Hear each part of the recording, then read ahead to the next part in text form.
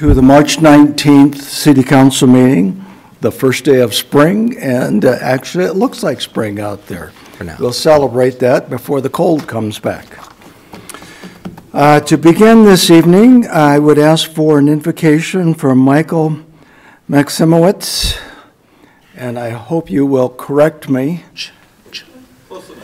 Oh, good. Which? Could you please stand?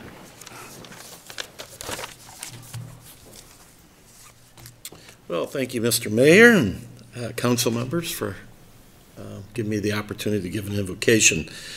Uh, I'd actually like to read the invocation tonight, and this is a uh, invocation of inspiration, uh, helping and serving others, some humor, and answered prayer.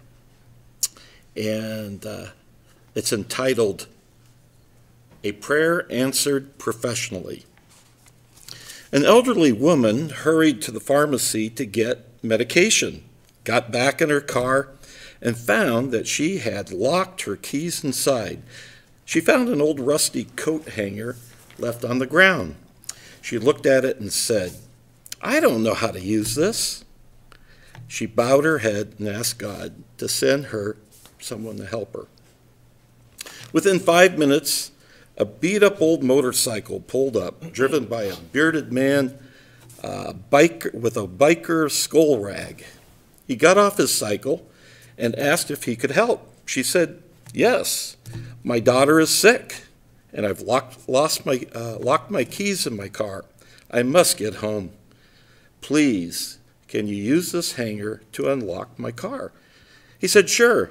He walked over to the car and in less than a minute, the car door was open. She hugged the man and through tears softly said, Thank you, God, for sending me such a very nice man.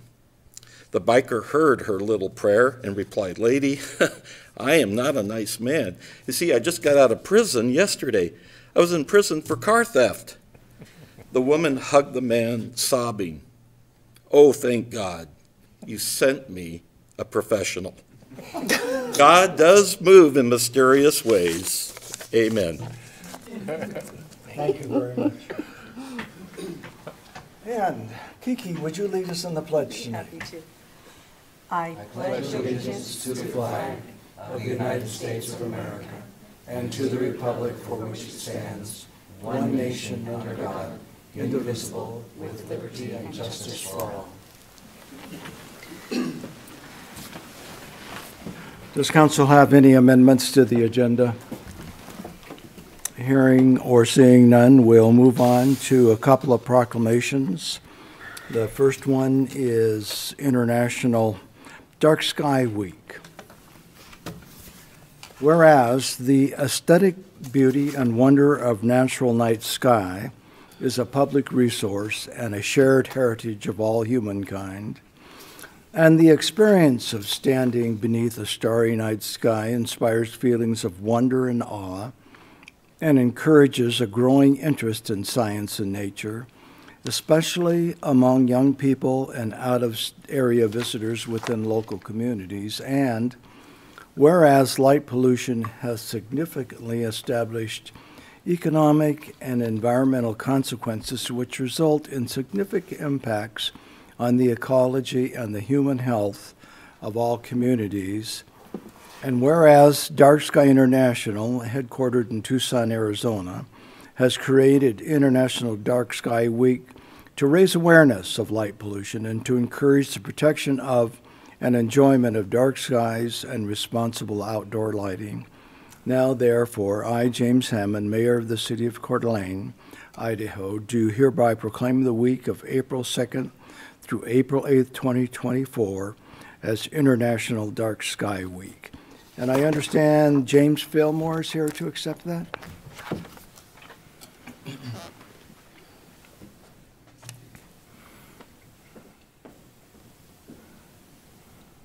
Thank you, James, for bringing this to our attention. I'll present this to you, and if you wish to share a few words, feel free to do so. Thank you.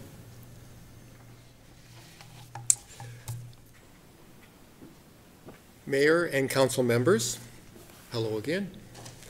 Thank you very much for this third year in a row Dark Sky Week proclamation to help raise awareness of the splendor of the night sky and the risk caused by inappropriate lighting. Camping at Priest Lake still offers pretty good night skies. Camping at Farragut State Park, boating on Oreille, or southern Coeur d'Alene Lake give people a chance to see a bit of the Milky Way. Due to our proximity to Spokane, we're not going to be able to have a local dark sky reserve like central Idaho has. But this issue is not just about night sky awe. From the publicity of these proclamations, I've given talks to area schools and private groups, and I'm frequently told about bright, non-shielded lights across streets or alleyways that bother people at night and affect their sleeping. These are more than nuisance issues to people. They, are human health issues with excessive night lighting, and the effects on wildlife is non-trivial. Just a reminder, birds and insects are major pollinators, and both of these populations are in decline. Unfortunately, things can get worse. The area is continuing to grow, so it's not too late to act. Coeur d'Alene and Post Falls are getting more housing developments. Poorly designed LED lighting causes glare and light trespass. People buy what's familiar and available at the stores. Smart lighting ordinances do not hinder development. Rather, they enhance development by preventing poor lighting practices. And of course, excessive lighting simply wastes energy. Advanced features such as late night auto dimming can pay for themselves over time and are meaningful reductions for wildlife and night sky protection. I want to thank Dan, Dan, English, who last year at this occasion agreed to speak with me, which we have done. Those chats have led to initial conversations with city staff. I look forward to being a resource for city, city staff to develop modern, smart code amendments which provide safety and protect human health, wildlife habitat, and the awesome night sky. Again, for myself, the local populace, and the entire dark sky community, thank you for this proclamation. Thank you, James. We have another proclamation uh, regarding the uh, Week of the Young Child. And uh, I'll read some of it. Whereas the Idaho Association for the Education of Young Children are celebrating the Week of the Young Child, April 6 to April 12, 2024.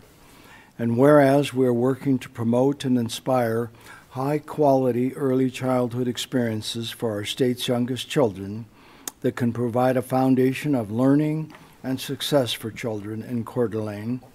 And whereas public policies that support early learning for all young children are crucial to young children's futures and to the prosperity of our society.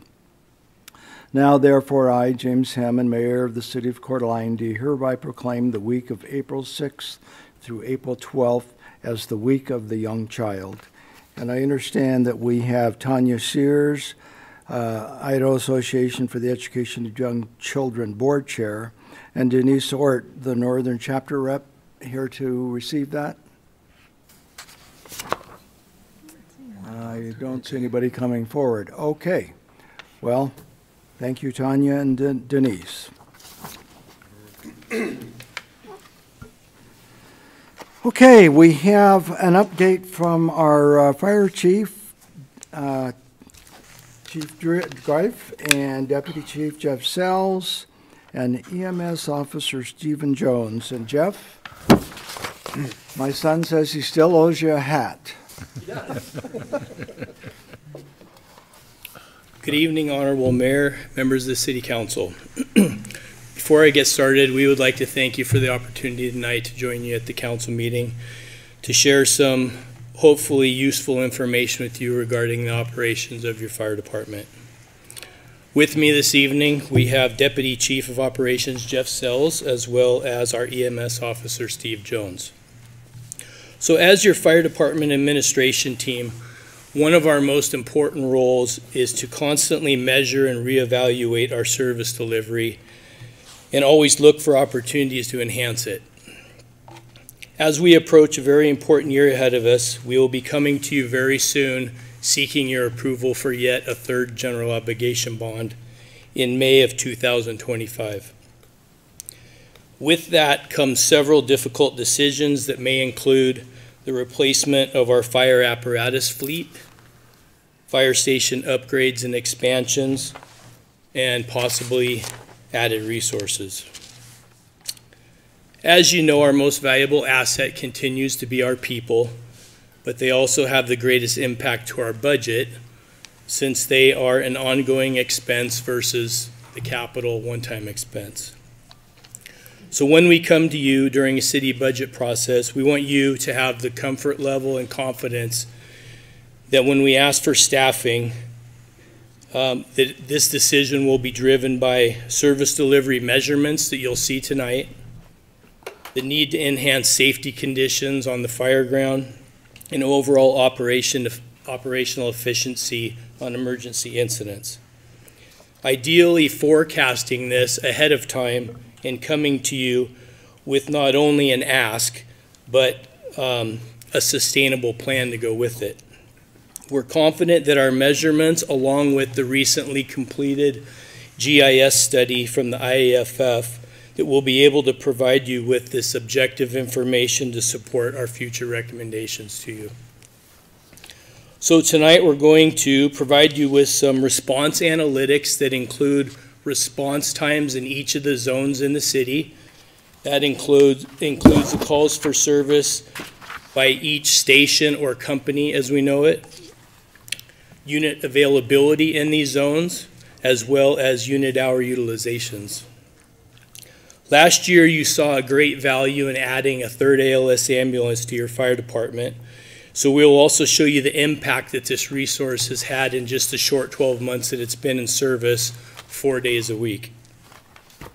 Last tracking a lot of these statistics is a new reporting software that we implemented in October. So it gives us some extra ability to track a lot of these numbers that we didn't necessarily have the ability to track prior. So speaking of last year, it was our busiest year. Um, we cleared 10,022 incidents, which is a department record. 78% of those were EMS incidents.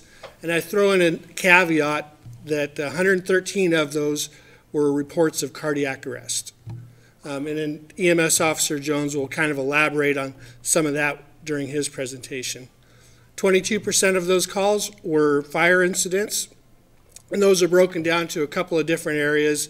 Um, 8% of those were just assistance uh, calls. So the majority of those are essentially just lifting, lift assists, uh, just helping physically disabled people. And then there's a variety of other uh, calls that we go on.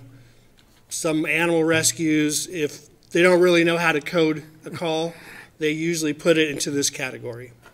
So 4% were fire alarms. Uh, 8% were other fires to include car fires, boat fires, uh, wildland fires, and then 2% were structure fires. And then I throw another caveat in there that we received 171 ins- or calls for reported fire in a, in a building. And that includes the mutual aid responses that we, uh, that we provide. So last year, 2.8% of our calls were uh, we received mutual aid, and 2.6% of the time we actually gave mutual aid. So our engine or battalion chief responded to incidents outside of the city. So to break this down by uh, the volume within the zones and the travel time, you've probably heard a lot of references to NFPA 1710. And it essentially establishes kind of the parameters that we try to comply with regarding uh, staffing, um, chute times, which are the time we receive the alarm till we're actually rolling out the door, and then that travel time. Our goal with 1710 is to have a four minute or less travel time. So looking at this map, uh, the downtown area, F3A, we're doing pretty good. It, our average travel time was three minutes and 52 seconds. Now, these only include emergent responses, which is one of the new things that we're able now to track with their new reporting software is to separate out the low acuity calls from the high acuity calls. So we know when it matters, our, our travel time downtown averages three minutes, 52 seconds. Um, The east part of town, three minutes twenty-seven, Tubbs Hill. Uh, there's an asterisk by that because one of the things that we had to do were to be able to identify calls that actually occurred within that zone. And Tubbs Hill has always been a difficult place to be able to track calls because the addressing of Tubbs Hill was always putting it in a different zone. So that was one of the things that we're able to fix. So we're better able to track those calls on Tubbs. Uh, Armstrong Park, not really a surprise that our travel time uh, up to Armstrong Park is going to be, you know, quite extensive. And then the calls on the lake, we don't necessarily track the uh, um, the travel time because there's a lot that goes into those. And those five incidents that you see here on Coeur d'Alene Lake are incidents that started on the lake and remained on the lake. So when we talk about the use of the fireboat, the vast majority of the calls that that start on the lake end up on the shore, and they just get dispatched based on whatever um, land zone they uh, they land in. So that number is is a hard one also to track. Chief, I have a Yeah. quick question. When you talk about these incidents, are these uh, lights and sirens, or is there a difference there? So these incidents are all the incidents that occur within those zones. But the travel time that I, that I listed are just the travel times for the emergent calls. So there's usually about a 55-45 split between emergent and the low acuity calls. So we're able to weed out the low acuity calls, those travel times, so that it doesn't skew our numbers. Because our, our interest is more in when it's an emergent call, what our travel time is. But I don't necessarily, we don't necessarily send every, you know, all the apparatus, lights and siren to every call. Okay, thank you. So this uh, second part of the map is just the area north of town. Um, We did some modifications to these zones this last year to help try to shift some of the call volume from engine two to engine four, and I'll get into that here in just a minute. But you start seeing some of our response zones start crawling over that four-minute mark. And for this zone over here, F3C, these calls up in here are what starts to drive that, that travel time up. The hospital district, F3H, this one here you see is 358, but there's also a lot of calls that occur in that particular zone. And what we're finding is that incidents that are occurring south of I-90, uh, get my mouse to work right, in this F3H zone, our travel times are, are quite longer. I mean, trying to get over the bridge is, is a bit of a challenge. Um, F3I is kind of in the middle, up by the fairgrounds. It's kind of just that middle zone, and we're doing good there. I grouped these three together because these are three of our Station 4 uh, zones. And we start creeping up above that four minute, and what's driving that number up are calls over here in this corner. So this little piece up here, again, is one of our, our difficult areas to make our four minute response time. And in the Atlas corridor, we just started tracking these calls in June, and our travel time down there is about six and a half minutes. So incidents by uh, fire company, engine two again was the, uh, the uh, um, busiest. And then I included some chute times in, for EMS incidents and fire incidents. And again, referring back to 1710, um, one of the requirements or recommendations for getting out the door after we receive the alarm for an EMS call is uh, under a minute, and for a fire call is a minute 20. That's pretty quick. A lot of things have a affect that station design. Um, you know, if you're at ones and you're trying to slide the pole, it sometimes can seem like it goes faster, but it generally doesn't. Um, but I did include here the colored uh, um, times, and they indicate the company with the fastest chute time. since we started tracking it last year. So for instance, Station 2 Blue Shift held the record at 43 seconds. So it's like firefighters like being a little competitive. so they, uh, some of this is all kinds of bragging rights for them, but this is, this is the type of environment and the culture that we, you know, that we strive to have. And this third number here, availability, this is a number we also watch very closely. That NFPA 1710 standard says that we should be able to make 90% of all the calls in our first due areas. So we look at engine two last year, they only made 82% of those. Engine three, 89. Engine four just barely creeped over 90. Uh, the ladder was at 87. The ladder is a little bit of a unique scenario because it gets tasked with a lot of extra responses in the city just because of its uniqueness. Structure fires, again, we went to, or we received 171 uh, structure fire responses. This includes our mutual aid.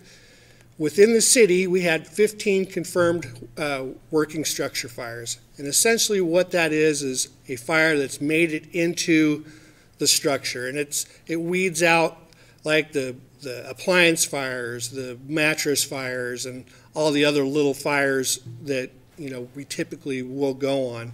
So 15 working fires. Seven of those went to a second alarm which is not uncommon for us, the way our deployment model works. And then we had one that went to a third alarm.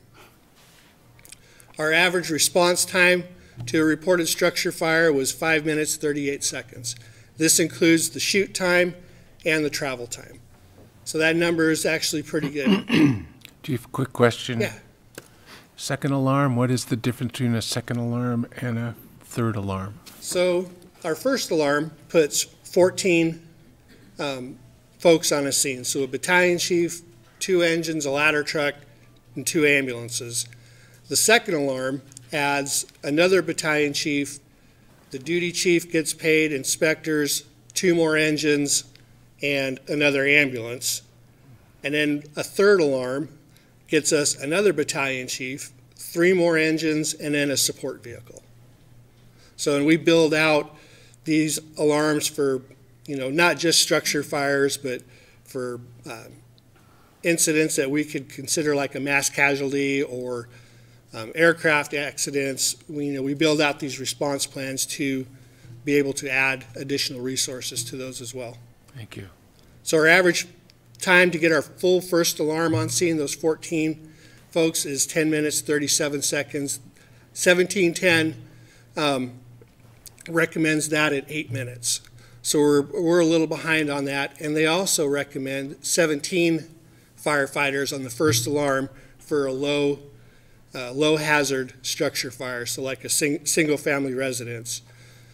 Where the numbers get a little bit more interesting is NFPA 1710 also recommends that we put 43 firefighters on the first alarm of a high rise fire. And that's obviously not the most practical thing in our scenario, but we try to, you know, we do what we can. So, with regards to uh, the new ambulance, Medic 34, we put it in service uh, March 1st last year, and this these numbers represent essentially a six-month picture of how this ambulance has affected um, the system. So you can kind of look back here, and most notably, the numbers I wanted to point out were these percentages. One of the things we do take pride in is ensuring that our ambulances are responding to mostly uh, medical calls. Some other departments will, will wholesale their ambulances to a lot of fire calls and this and that. We, we really try to keep our ambulances focused on just responding to EMS calls. So when we added Medic 34 here 31 and 32, our other two ambulances, their call volume decreased by 194 calls. But you look here, we were able to absorb a significant number of, of more calls. So this new ambulance had a lot of value in being able to absorb more calls and still reduce the number of calls for our other two ambulances. So again, it, or what we want to demonstrate is the ability of this new ambulance to close the gap. So in 21 and 22, you can see 8% of all our EMS calls, the ambulance had to come from outside of the city. So since we put Medic 34 in service, and again, this is just looking at the times that they're in service, we're down to 43 calls last year, so 1% of our calls had to be handled by an ambulance outside of the city. Chief, Yes. um, the, so the ambulance service is done by the EMS, and it is county-wide. Is there any line of demarcation between, I mean, are these calls just to the city, or are they including calls outside our area? So our ambulances will respond outside of the city Mhm. as well. Um, And it is a county ambulance service, so they will respond into the city. Our, in a further slide here where I, where I demonstrate that um, our unit hour utilization, as that goes up, our response times um, increase, and our goal is eight minutes with those. Um, In fact, the last slide, if I bounce to the end, it, uh, the new ambulance has been able to drive down that response time to those calls. So I'm not sure if that answers your question or not. Oh, that was good. I mean, I, I just uh, appreciate it. It's just Even, You know, their call volume to the city went down by 50%. nice. You know, the, uh, what I did add here was Medic 34 did assume a non-emergency transport, a fairly frequent one, frequent one that we do from the hospital to the hospice house um, that Medic 51 had been doing. So we just, we picked that up on, on four days that Medic 34 is in service, and it's made a big, big difference.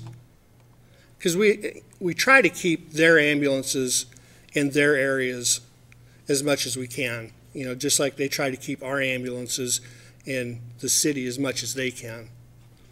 So unit hour utilization um, essentially is just a, a mathematical formula to help determine system stress, um, calculated by total number of incidents divided by the total number of hours that unit was in service. And I'll show you some calculations here directly.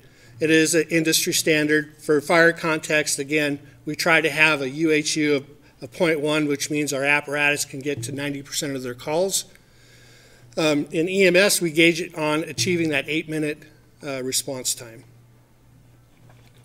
So prior to uh, Medic 34 being put in service, our UHUs were fairly high. So we were having a, a problem. You can take a look, last year, we had creeped over that eight-minute mark. By adding the new ambulance, we've now been able to crawl back under that eight-minute mark. So that in, it- in and of itself is a, is a great success. So with that, I'll uh, stand for any questions. Can you explain the difference between uh, EMS response time at eight minutes and a fire at four? Travel time of four minutes. Travel time is EMS two? No, travel, the response time for EMS, when you're, um, I guess, let me try to figure out. So that, that four-minute travel time for fire is based on a fire incident. So those, those times are typically determined based on if you have a structure fire. Now, it also does apply to EMS because with our engines, we want them there within that, that four-minute time for early AED, um, CPR, this and that. The assumption in 1710 is that all the engines are basic life support and all the ambulances are advanced life support. So when you read the standard, it's BLS on scene within four minutes, ALS on scene within eight minutes. Now, we're a little different in that we have paramedics on the engine um, most of the time. So we meet that, that's, that standard, but, um, you know, just trying to keep the, trying to keep our ambulance response times to, to less than eight minutes. Gotcha. And one other thing, just clarification, you keep referring to 1710. Can you give me the global It's- picture of that? So NFPA 1710 is a standard that helps fire departments um, determine staffing levels, uh, chute times, response times, um, the travel times. It vari- it essentially just kind of paints a picture of, of what the ideal fire department um, will provide. It's, uh, it was referred to in the, what the chief, res- you know, talked about, that IFF study. That's, 1710 has referred to it in a lot, in a lot of ways. Um, Our new reporting software, we were able to take some of the statistics from that and then try to recreate it, because obviously, with any data, you should be able to recreate it to get the, you know, the same results. Thank you. Christine? Thank you, Mr. Mayor. Jeff, uh, the response times are just so, so important, not only to your department, but to the city as a whole. Um, When you, I understand that those are determined at a national level. It would be great to see what we've done in the last 10 years, how, because I know you've done a lot to improve the response time, so maybe in the future, something like that. But also, um, if you could pick another city in Idaho that's similar, how are we comparable? My assumption is we're better. Um, you know, that's a, that's a good question. I don't have, I don't really have an answer for that. So Each of the, every fire department or fire district is, you know, managed a little differently in their operations, and I would have to see what their, you know, what Oh, and how they collect data? Yeah. Sure, that makes sense. Well, we think you're doing a fantastic job, Thank you. Especially if you're sick. Everybody wants, I mean, that's great. You're doing great. Thanks, Jeff. All right, thank you.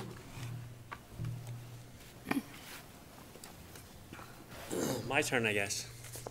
Uh, Honorable Mayor, council members, um, I just wanted to go over a little bit of cardiac arrest data for you. Um, and these are statistics from 2023. And like Chief Sells had mentioned earlier, um, we were called for service for 113 reported cardiac arrests. Of those 113, 60 of those actually turned out to be a true cardiac arrest in nature. We were able to regain to gain return of spontaneous circulation 52% of the time out of those 60 calls. The national average is 25 to 30%. 25 of these 60 patients received bystander CPR for an average of 41% of the time. The national average for bystander CPR is 40.2%. So we're doing pretty good there, but we still have some room for improvement. The Coeur d'Alene Fire Department provided CPR training to over 190 citizens in the Coeur d'Alene area in 2023.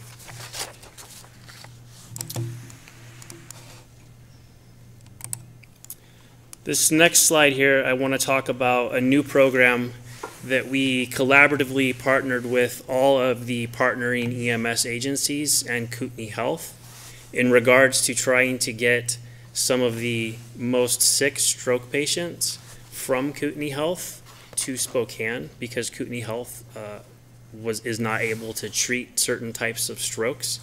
So we were trying to figure out a way that we could get these patients emergent transport from our hospital to definitive care over in Spokane. And we call these 37 deco, 37 deltas or 37 echoes. And what this is is our ambulances will they'll, they'll tone out the closest paramedic ambulance to the hospital. And that ambulance will actually respond lights and sirens to the hospital to pick up these patients in the emergency room and then transport them lights and sirens to Spokane, decreasing the overall time uh, that it used to take, which was over about an hour to an hour and 20 minutes. And so we're able to now respond emergently to these calls at Kootenai Health for service and get these patients to definitive care much, much faster. Um, the, some of the goals of this program, like I said, were emergent responses to Kootenai Health to Spokane. Uh, turnaround time in the emergency room of less than 10 minutes. So our goal is once we get to Kootenai Health, be in and out in under 10 minutes and on the road to, to Spokane. Um, We've had the uh, privilege of transporting seven of these patients so far uh, since we implemented this in December of 2023. And I'm happy to tell you that the Coeur d'Alene Fire Department average turnaround time at the hospital for these patients is six point six minutes. So we're beating the mark. And the goal of this, uh, obviously, the big goal of this is to uh, increase better patient outcomes. So we're making that happen as well. Mr. Mayor, can I ask a question? Steve, one of the things that we learned, I think it was last year, when you talk about better patient outcomes, tell us a little bit about the triage you're doing now before they even get to the hospital. Um, oh, are you, are you referring to time-sensitive emergencies? Mm-hmm. Um, I've got some data for you on Okay. that here in just a Um, moment, if, okay. if you don't mind. I don't mind. So let's talk a little bit about the billables and the money that we're able to generate through our EMS system uh, that comes back to the city of Coeur d'Alene. So in 2023, we had a total of 5,026 total billable EMS calls, which generated a gross of $4,057,750. Of that $4 million, 62% of that is paid by Medicare locally here. Uh, Thirteen percent Medicaid, twenty-one percent is commercial insurance, and four percent is self-pay. And then I wanted to break down a little bit of what we actually are, what the system, the EMS system is actually able to recover based on Medicare and Medicaid. So the average um, Medicare payment is only forty-nine point two percent of what's actually billed to the patient. Medicaid pays an average of thirty-nine point nine percent. So the total revenue contracted to Coeur d'Alene Fire Department in twenty twenty-three, we received two million ninety-seven nine hundred and twenty-three dollars. All right, now let's talk about some of the time sensitive, time sensitive emergency stuff. So as uh, Councilmember Wood was saying, um, about a year ago, I came before you and talked about a new certification that we received here in Kootenai County as partners with our Kootenai County Emergency Medical Services. And that was the Idaho State uh, Time Sensitive Emergency Certification. So I can happy to tell you that we're crushing it.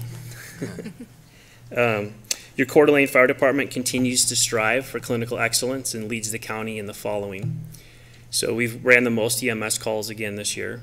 Um, we have the fastest chute times for EMS responses uh, throughout the three ALS agencies. We have the shortest on-scene times for all time-sensitive emergencies. So for strokes, heart attacks, trauma, and sepsis, they have different timelines that they'd like to see us be on scene less than a certain certain amount of time. So I'm happy to report to you that we we lead uh, the city of Coeur d'Alene, our ambulance crews and firefighters lead the county in the shortest on-scene times in all four categories. Um, we also lead uh, in the shortest turnaround time. So this is the time that it takes once we get to the hospital to turn around and get back in service. So we are also leading uh, in that in that benchmark as well. Did that kind of answer your time-sensitive emergency question? What I recall is there, there is a real collaboration with the team at the hospital on, on what the actual condition is, the Yeah. emergency, and, and then they're able to triage better before you even get there. Correct. So what we're doing in the field is when we when we diagnose a stroke in the field or a heart attack or a trauma or a sepsis patient, when we, we call and give a radio report to the hospital, letting them know that we're coming and give them specific uh, patient information. And then on these time-sensitive emergencies, we actually would call like what's called a stroke alert. And that tells them that this is a serious patient that's going to need more hands than just maybe what they have available currently in the ER.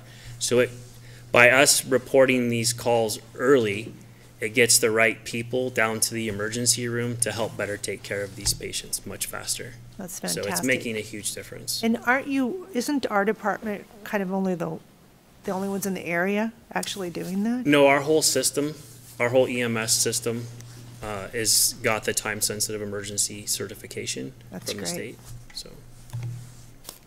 Jeff, I have a question for you. I know sometimes you guys, you cover Harrison, you actually leave the city and go the Correct. long distances. Is that averaged into the call times and all the, the- that, or is it just You want You just to kinda- this one? Sorry. I'll, I'll start it off though, but yes, uh, Councilman uh, McEvers, you're correct. The, the Coeur d'Alene ambulance, um, we'll say Medic thirty-one, which is at Station One. Its primary response area is downtown city area, but they're also the first paramedic ambulance to go south of the river towards Worley. They also travel, uh, down to Harrison, sometimes almost to St. Mary's. And then that ambulance can also sometimes be called all the way up to the Fourth of July Pass. So our ambulances within the city, like we said earlier, they do go outside of the city, but Medic thirty-one definitely covers a large majority south of us as well, and to the east. I was just thinking the impact when they're gone, and that's not a eight or 10 or 12 minute thing. That's 20 minutes or a half hour or longer sometimes, yeah? Yeah, we, there's a um, set order of cover units, so like when Medic 31 goes south of town, Medic 32 covers, and then Medic 34, which is why those zones are designed the way they are. Gotcha.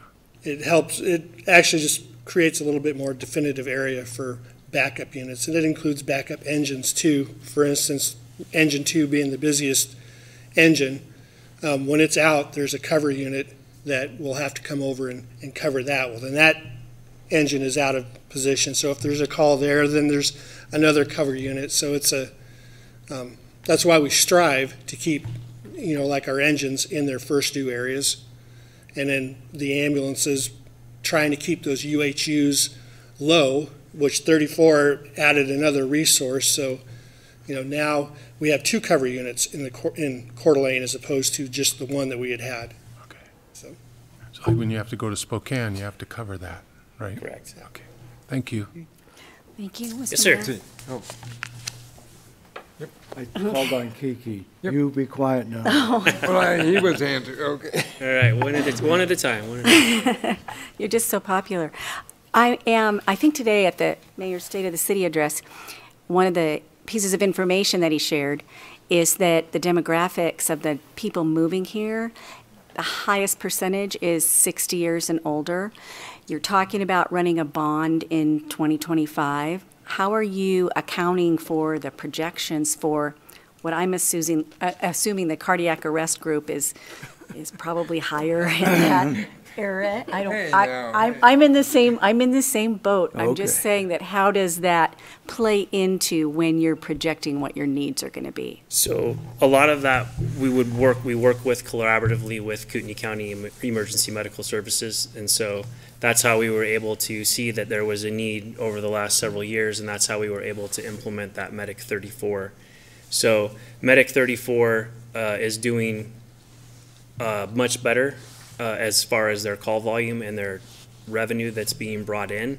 And so there is a timeline for that to hopefully be able to go to a seven-day-a-week ambulance.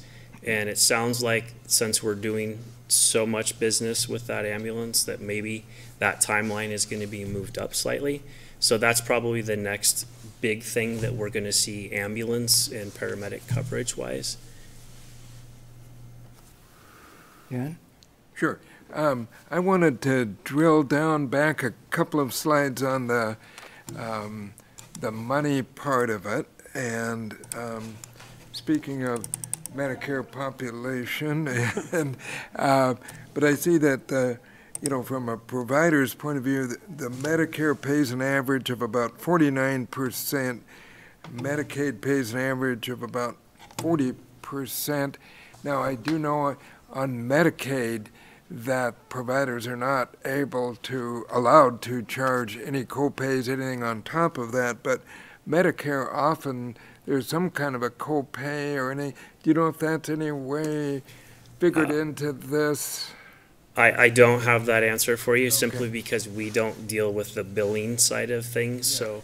I was able to get these numbers from our EMS system, but I'd be happy to be able to try to find that answer out for you. Yeah, well, just curious if Yeah. there's, yeah, because, and again, because Medicaid won't allow any extra billing, which is Correct. right, but, um, um, and I guess part of the moral of that, go after the Medicare group, but, okay. Any I other think they get to questions? pick. Seeing no other questions, thank you very much for the presentation. You're welcome. And uh, I I think that what is most important is that these statistics will help us evaluate our next steps as we move forward in terms of uh, our fleet and uh, our facilities. Thank you. Well, thanks for having us tonight. We appreciate it.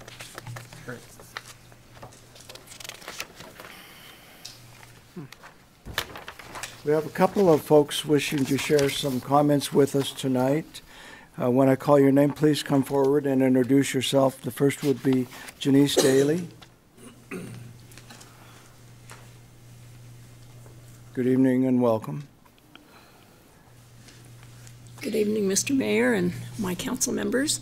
I'm Janice Daly, and I was here, I think, last September to talk to you about the street noise, the vehicles, and their modified um, conditions making so much noise in the city. I live in a high-rise downtown, been there about a year, used to live off of Lakeshore Drive, and it's extremely menacing. I'm sure you know what it sounds like. I have a phone full of uh, sounds taped for you, so I know you know what they are. But anyway, I'm here actually to thank you so much for going ahead with changing the code and trying to assist us in possibly taking care of the problem. And I'm a, I'm a retired police officer myself. I'm not trying to give more work to the police department. However, we do need your assistance, and I'm actually inviting any one of you in the council or the city to come up to my unit and spend half an hour, an hour there one evening and just hear it. And like on my walk here, I heard probably 10 of them or 15 of them. Last night from dinner hour, probably a 100 of them. They're all modified. It's trucks, motorcycles, and those small little cars. And I've talked to the people working downtown and people visiting and other tenants and residents in the town. No one likes it. It's a burden to all of us. And I'm more than willing to work with you to make a difference. I don't want to make it hard on you. I want to make it easier on you. And if you get the vantage point from where we are, I'm sort of at Northwest Boulevard where it splits with Sherman.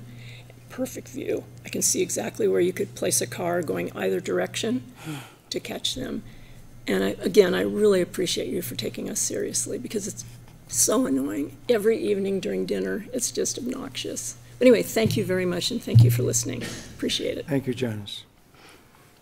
Barb Lachette.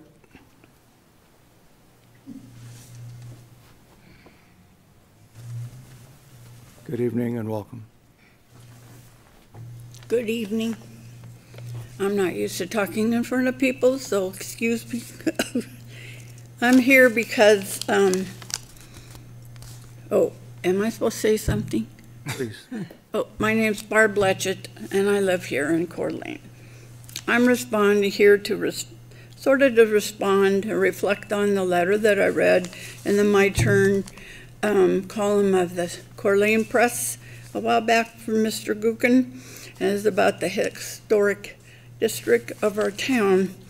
If you don't mind, I'd just like to read it because I, my mind scatters and I don't want to be here all night, and I know you don't want me here all night. So, um, I appreciate the My Turn article in the press by Con- Councilman Gookin. However, I wished it would have been during the comprehensive plan review. Back then, I sent a letter to the mayor and council expressing my views regarding the history of downtown being developed away. the downtown is the origin of the city of Coeur d'Alene. Those buildings are the physical history for our residents, children, retirees, visitors, and those who have lived here for decades. As I expressed before, tourists usually go to places for quaint, unique qualities and experiences. We have a, a excuse me, we have a museum and statues, but the shops from back in the day are an immersion of what Coeur d'Alene was like. Unfortunately, during the period of rebirth, development was focused on making money, which isn't wrong, but attention to the historic downtown was left out. Thankfully, some entrepreneurs kept storefronts of the period and created nice businesses. Regarding the design committee meeting with the Marriott development is another case where residents are left out of the process until it's too late.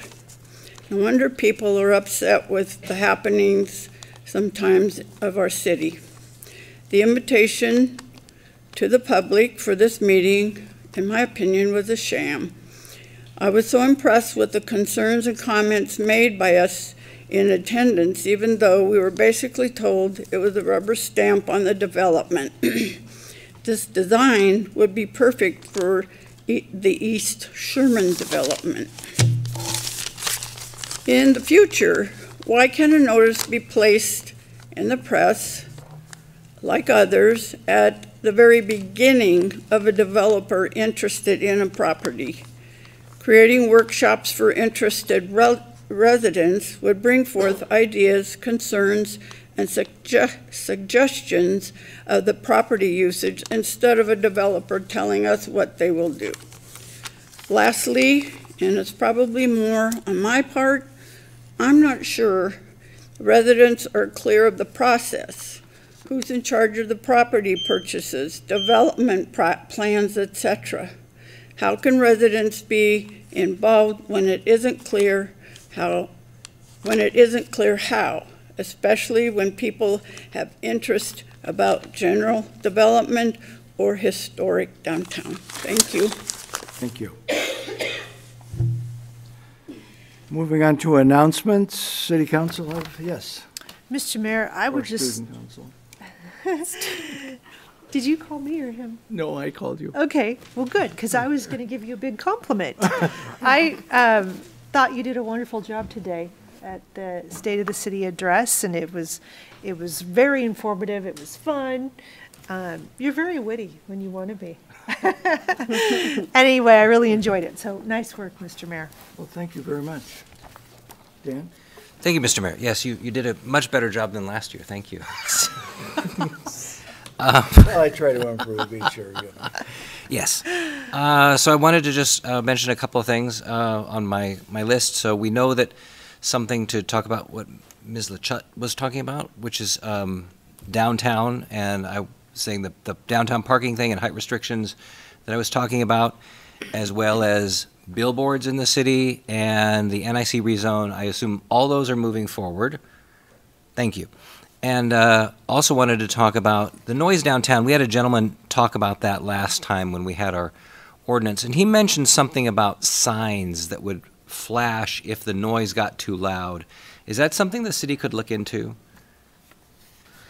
I don't know if that. I, I mean, I guess if if that's a thing, he seemed to say it was a thing in some places. I don't know if that's if we want to look into that and maybe see if we could partner with Downtown Association on getting something that would alert people when things were getting loud. I don't know. I'll If bet not, you, we'll develop that and Oh. bring that forward as a patent. Outstanding. Patent. Um, The other thing, the other question I had, I was contacted by someone, and I think all the council was, regarding the pro- the proclamations we do.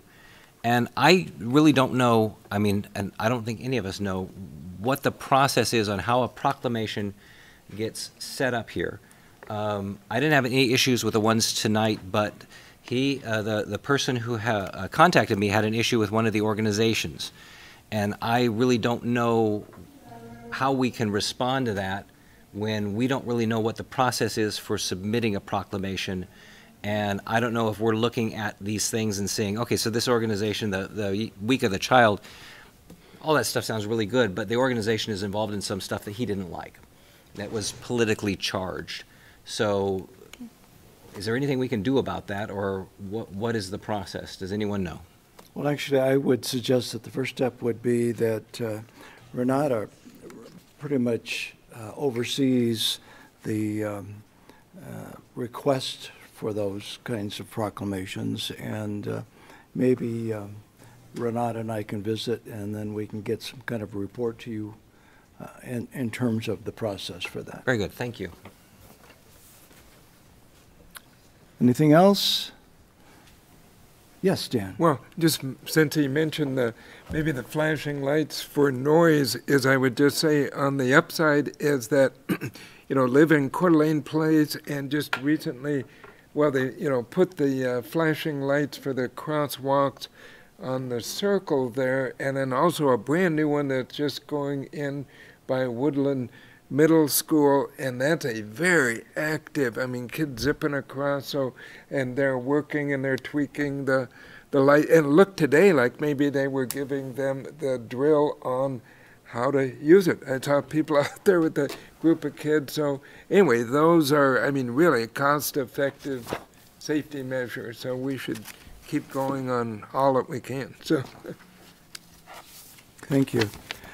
I don't have an announcement, but I did want to thank the council today uh, for coming today to the state of the city. And uh, I said earlier that I thought it- that this group on the council were all hardworking and contribute substantially to the efforts of governing this city. And I wanted to emphasize that again tonight. I very much appreciate all of you. We don't always agree, and that's good. Good. Disagreement is the best way to kind of filter through what's right and what's wrong for the city. And uh, I, I very much appreciate the work and the different uh, strengths that you all bring to this. Thank you, folks. Mr. Mayor, I'd like to move for approval of the consent calendar as presented, including Resolution 24018. Second. We have a motion and a second. Will the clerk take the roll, Mr. please? Mr. Mayor, Oh, just one, yes. one thing I want to point out, because it was mentioned during public comments, is there is a public hearing on April 16th for the appeal of the uh, Design Review Committee's decision on the Marriott Hotel, so making that public. Thank you. Will the clerk take the roll, please? Miller, Aye. McEvers, Yes. Gookin, Yep. English, Yes. Wood, Yes. Evans. Yes. Motion carries. We next have a resolution regarding a memorandum of- of understanding with ITD. Welcome, Chris. Thank you, Mayor and Council, for putting up with me for a while tonight.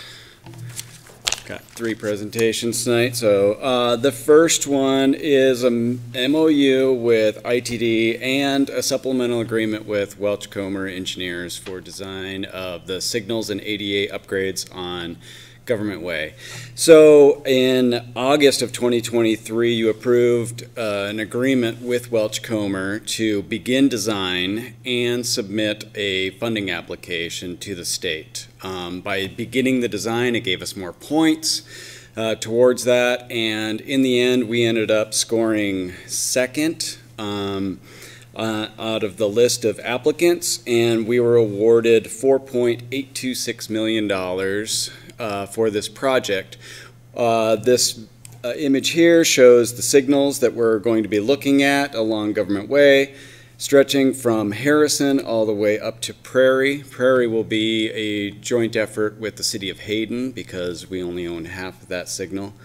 Um, but this project essentially will be upgrading the equipment in the signals, adding left turn arrows where needed, um, upgrading the ADA facilities like the ped ramps and push buttons and the crosswalk uh, signals. Um, and it will be providing communication between all these. So with this, we are, as part of Welch Comer's contract, they are subcontracting to Iteris from Spokane, who will uh, develop programming for these so that we can efficiently move cars up and down Government Way. I actually drove it this weekend and hit greens all the way up it, and it's because I was lucky. Um, those signals don't talk to each other. Um, I've heard people complain that they catch every red and we have them programmed wrong. Well, they're not programmed; they're just on time. They, each one is acting independently of each other. So when we're done with this, hopefully we'll have a coordinated corridor that will move traffic a lot more efficiently, um, and it'll be more friendly to people with disabilities as well. So with that, I would ask you to approve the MOU with ITD and the supplemental agreement with Welch Comer. Questions? Woody? A couple of them. On the intersections, is there any structural, or the right turn lanes going to be widened, sidewalks narrowed, anything physical that's going to change the amount of space? Narrower lanes? No, no. Uh, all the lanes will remain the same. Um, the only thing that will change physically on the ground is ped ramps will be um, upgraded ADA. So there may be flattened slopes on those, or add the truncated domes, detectable warning strips, those kinds of things. Okay. Uh, The other one was on the programming, you just mentioned somebody's going to write that, or are they going to manage it? Oh, the program, uh, they are going to write that for us. So similarly, we've got one, uh, on Sherman that moves traffic. It is kind of disabled right now because of our, uh, computer issue that we had. Uh, we'll get that back up and running. But Northwest Boulevard also, uh, we paid somebody to develop programming for that. So, um, it'll be, we'll have it, um, and we can possibly tweak it, but we will probably end up having to pay someone else to kind of redesign it in a few years. Like after three to five years, we might take another look at it and see how it's moving traffic and maybe have to develop a new program for it depending on how traffic's moving. So the one we have on Northwest Boulevard right now going over the bridge, is that somebody else's writing? Yes. And, but, and they control it, we don't really? control No, we control it, but they just wrote what, uh, which signal, uh, the delay between them kind of thing. Thank you. Okay, how would council wish to act on this? Mr. Mayor, I'll make a motion to approve resolution number twenty-four 19 approval of a memorandum of understanding with the Idaho Transportation Department for Government Way Strategic Initiatives Funding and Supplement to the Professional Services Agreement with Welch Comer. Second. We have a motion and a second, further discussion? Seeing none, will the clerk take the roll, please? McEvers. Yes. Gookin. Yes. English. Yeah. Wood. Yes. Evans. Yes. Miller. Aye. Motion carries. Now, uh, sewer overflow. Yes, uh, so this grant is a much smaller one, but this is through the Idaho Department of Environmental Quality. Um, this image here shows where we have got two catch basins out on uh, Hill Drive um, that are connecting into our sanitary sewer system, which is a no-no. Uh, the wastewater treatment plant doesn't want to treat our stormwater, though they do a very effective job of it. Um, so we went ahead and uh, we submitted a letter of interest to DEQ in January of 2023. Um, I don't know why this is a multi-step process, but once uh, they said yes, go ahead and submit the application. So we submitted an application in November of 2023. And now we are accepting the award, or I'm hoping that you will accept the, uh, the award of uh, $34,450. Um, Actually, 31,000 of it will come from DEQ. There is a 20% match for us. um, And we are um, looking at using HMH to develop a plan on how to best take care of this stormwater. So with that, I would stand for any questions. Chris, how does it, the, the the wastewater system is a closed system. How does stormwater get into our wastewater system? I don't know how the decisions were made when they were made. I, I can see why it was done in this location because they probably had a flooding problem because it's a low area. It's it's not. Uh, we don't have a stormwater system out there where they could pipe it to somewhere else. So actually, it was an, an intentional effort to channel that water. Correct. And we've had a Okay. few more of these around the city that we've taken care of recently. We just took care of one last year um, that was connected to sewer, and we put it into some dry wells. And um, so we want to do something similar with this, uh, create some way that we can dispose of the storm water without causing any impacts on the residents there. Thank you. Woody? So for thirty-one thousand dollars, what do we get? We get design? It won't be a full design, but it'll be a concept of what they can do because this is considered a planning grant. Um, the first time we submitted something, they said, well, it looks like you're going out to bid with this, and this is a planning grant, so we had to tone it down a little bit. So we're gonna get most of the way there, we just won't be able to get to the finish line. I always think of stormwater, as we've tried different things, is just a basic grassy swale. Is this more than that, do you think, or does the planners have to figure it out? Um, they will probably look at some options, whether we have a grassy swale and a dry well, or we use some sort of, uh, filter or something like that. Okay. Thank you. Mr. Mayor. Go ahead. Following up on that, Chris, uh, so will you be back?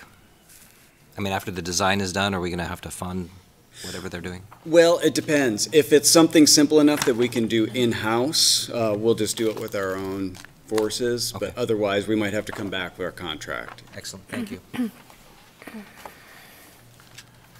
Seeing no other questions, how does council wish to? Mr. Mayor, I'd like to move to a res- uh, approve Resolution 24020, acceptance of IDEQ Planning and Sewer Overflow Stormwater OSG Grant sub-award for the whole amount of $31,005. Second. We have a motion and a second. Further discussion on the motion. Seeing none, will the clerk take the roll, please? Gookin, Yes. English, Yes. Wood, Yes. Evans, Yes. Miller, Aye. McEvers. Thank you. The motion carries, and Chris, you're up again. All right, last one. So, uh, this ask is, um, the Independence Point Stormwater Project. This was another DEQ, um, funded project through Governor Little's, uh, Leading Idaho, um, initiative. And like the Sanders Beach and Mullan Avenue projects, where we took some of the stormwater that was going into the lake and we put it into some filters and dry wells, this is the same uh, concept here. Um, we had hired Keller Engineers to, or Keller Associates to uh, do the design for this. We went out to bid for it. We got two success or two bidders on this one: Terra Underground and SNL Underground. Um, let me show you real quick. Uh, getting ahead of my slides, but this is the uh, the drainage area that flows into the Independence Point outfall, which is here pouring into the lake when the water level was pretty low. Um, and this is uh, an example of one of the areas. There are several areas that we're looking at uh, treating the water, and this is just to reduce the amount that makes it down to Independence Point. We can't take care of it all because it's a, a lot of acreage. But we're essentially putting some new pipes and um, manholes in that have sumps in them so that they can lose some of their sediment in them before going into some uh, drainage trenches. And the way that we set this up, because we weren't sure that we'd have enough money, was we had 11 areas as part of the base bid. And then we had three more areas as um, bid alternates. And then we also had some um, asphalt paving as a separate add alternate and temporary surface repairs. Um, and the reason for that is because, well, twofold. One is that there's a tight timeline for spending this money. We have to try to get it done by mid-June to ask for reimbursement because it's the end of their funding cycle with this money. Um, and we're afraid that paving contractors weren't going to be available and would slow the project down. And the other reason is because we can pave patches in the road much cheaper than a contractor can. Um, we do it all the time for the water department, so we were looking at that option. So we went out to bid for this, and we got our two bids, Terra Underground and SNL Underground. And here was their base bid and all the add alternates. Well, the ad alternates all totaled for Terra Underground, the low bidder, for six hundred and we actually had about eight hundred and fifty thousand dollars in grant money left. So we would like to award the base bid plus all the ad alternates. Um, and we are also going to look at uh, getting some help on inspection from Keller Associates, but I'll bring that back at another time. Um, but because we have extra money that we would be giving back otherwise. So with that, I would stand for any questions. Chris, the, the uh, difference between the bids is substantial, and, and um, you are comfortable that that lower bid will be sufficient to be able to complete the work? Yeah, there was actually another bid that fell in between them, but they were one minute late because they drove from Bonner's Ferry to submit their bid. Uh, kind of a bummer for them, but um, that spaced it out between those two, which made us feel more comfortable. And then we had a conversation with uh, Terra Underground because um, they said they had a, a new uh, estimator putting the bids together, but they had all reviewed it, felt comfortable with it, and they want to go forward with it and don't have any issues. So. Christie? Oh, Mr. Mayor, I would just uh, take note that the governor's assistant, Jake Geringer, is in the audience tonight. If you could tell the governor, thank you, and we're going to spend all the money. And we're doing, we're on a very good project. Woody? Couple questions. So Terra Underground, have they done any projects for us before? I don't believe they had. They've done work for wastewater and water. okay. They've been around a long time. Okay. The other one is, can you go back to that slide that showed where all the water comes from, that whole? Oh, this one here? Uh, No, oh yeah, the one on the left there? Yeah. So are we still pushing all the water to the river, or are you going to take pieces of it out along the way? So it this goes into the lake. Um, most of this will still flow there, but i it's in this area here that we're concentrating, and we're just going to be reducing the amount that's going to the lake. Uh, there still will be water flowing out of that outfall, but less than there is today. So the water is going where? Um, into uh, subsurface uh, units to discharge into the into the ground. Yeah. So underground? Yes. Dry wells or whatever you call those things? Yeah, there's a, a drainage trench that they've designed to help uh, accommodate more storm water, and then we've got dry wells in there also. And it just perks away is Yep. the idea. Okay, thank you. So this design, or- or did I Yes, interrupt? I'm done. So this design isn't as sophisticated as the treatment we're providing at uh, Sanders Beach area? Um, we don't have the sand compost aspect of it, so it's not quite as sophisticated. Um, but we do have a lot of sandy material in our ground anyway, so it is going to get treatment. Thank you. Other questions? A motion would be in order.